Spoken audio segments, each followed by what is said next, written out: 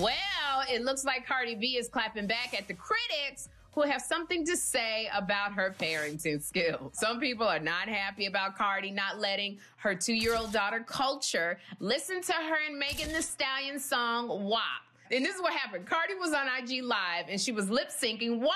But as soon as Kulture walked in the room, she shut the song off.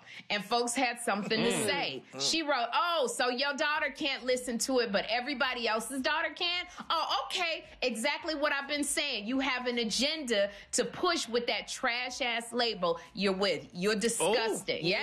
Wow. But Cardi B. Now you know, what? but you know Porsha and Brat. Cardi B is the Oh, queen of clap clapback. She responded. She said, "Y'all needs to stop with this already. I'm not JoJo Siwa. I don't make music for kids. I make music for adults. Parents are responsible on what their children listen to or see. What y'all think?"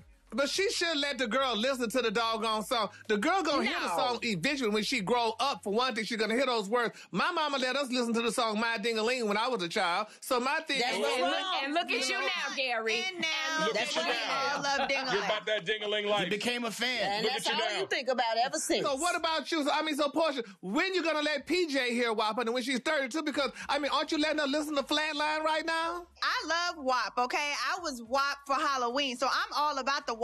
However, I will bop PJ on the head if I see her Oh. listening to this, okay? No, she Hello, don't listen to hello. this. It's all about parenting and how you somebody gonna be mad at you for good parenting. Like it's damned if she do, damned if she don't. Now if she just sang Right. this Right. song and brought her daughter over there, everybody would have something to say. When we were little, my parents did not let me listen to Prince.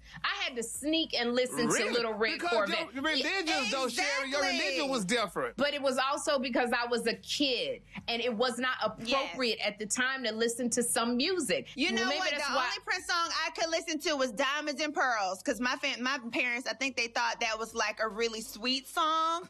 So Diamonds and Pearls was the only Prince song I was allowed to look at. Diamonds and Pearls. Hey, don't forget to hit us up on social media. We're on all these platforms at Dish Nation. We'll see you there.